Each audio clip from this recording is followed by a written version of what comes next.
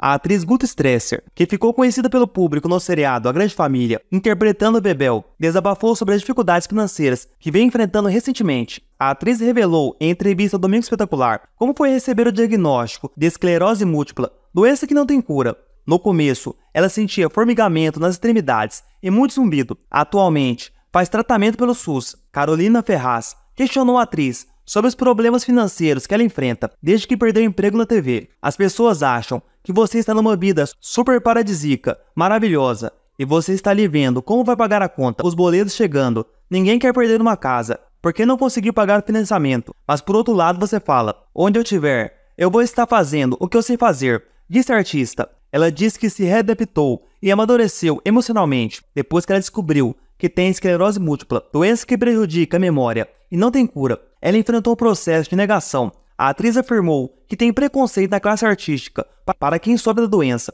Preconceito por falta de conhecimento. Trabalhar te faz bem. Você trabalhar é bom. A pior coisa para quem tem esclerose múltipla é parar. Se você parar, você paralisa. A atriz ainda disse que foi acolhida pelos atores que fizeram a série A Grande Família com ela. Good Stresser está vivendo em Curitiba, onde começou sua carreira.